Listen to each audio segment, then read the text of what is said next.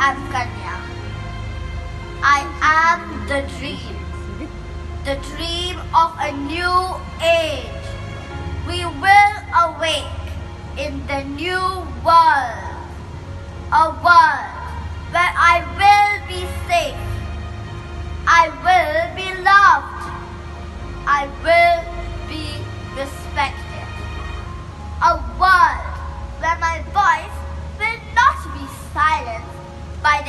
ignorance of arrogance, but will be heard with the understanding of wisdom.